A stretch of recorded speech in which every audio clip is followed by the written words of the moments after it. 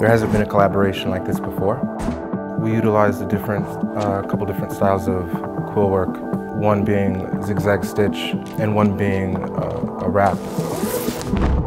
These techniques are, are passed down through family. The impact is tremendous. She chooses to highlight Native artists throughout Indian country by the type of things that she adorns herself with. She uses her platform to uplift other people in our community, which is amazing. What do you think? Because this is something made between me and you. We create something together. It's incredible. To me, it's a special embroidery because I never see something like that.